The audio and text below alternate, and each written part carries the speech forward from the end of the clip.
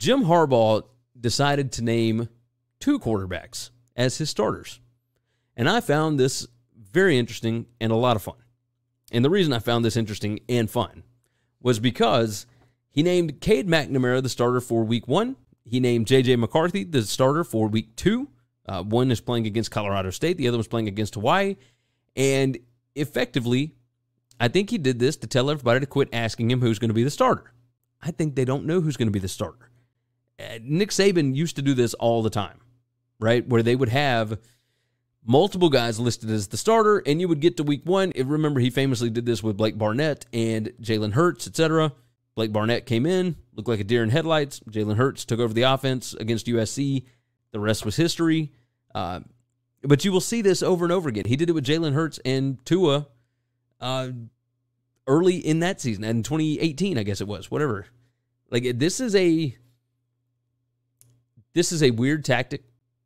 I think he just wants to see JJ McCarthy have some starting experience. Give him an opportunity to see what he looks like when he is the guy with the ones all week, etc. he didn't have to say anything about this. He didn't have to come out and say anything. I think this was his way of telling the media, "Hey, we're going to give both guys an opportunity, and we don't think that Colorado State or Hawaii can play with us.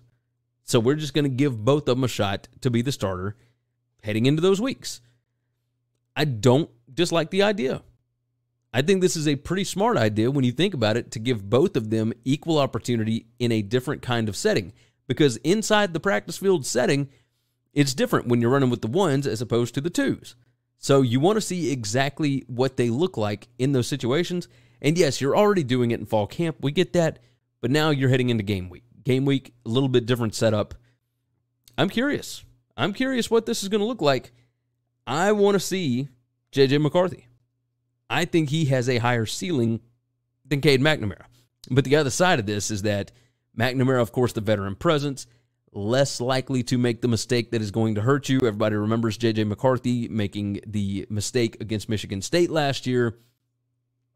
All in all, I still think he has a way higher ceiling, a way more explosive player. But is he going to do that thing that can cost you the game? That's where the question comes from. So I think it's a good idea for Harbaugh. I think Michigan is doing the right thing here.